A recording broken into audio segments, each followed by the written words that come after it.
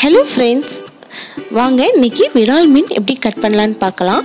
இந்த மீன் பிடிக்கவே வரலைங்க. ரொம்ப கஷ்டப்பட்டு தான் அவங்க பிடிச்சாங்க. எவ்வளோ சூப்பராக ஜாலியாக விளையாண்டுட்டுருக்குன்னு பாருங்கள் இந்த மீனை பிடிச்சி ஒரு பேக்குள்ளே போட்டு வச்சுக்கிறாங்க.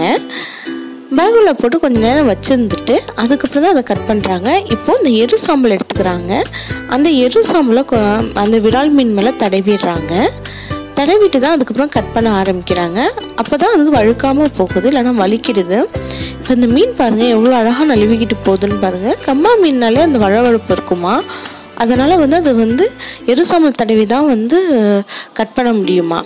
இந்த பாருங்க இது மேலே வந்து எருசாமல் வந்து தடவிக்கிறாங்க. இந்த மீன் உயிரோடு இருக்க போதே கட் பண்ணிடுறாங்க.